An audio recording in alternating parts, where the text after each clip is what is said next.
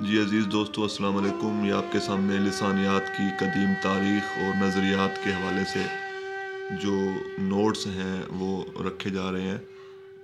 امید ہے کہ یہ آپ کے لیے کافی فائدہ مند ثابت ہوں گے۔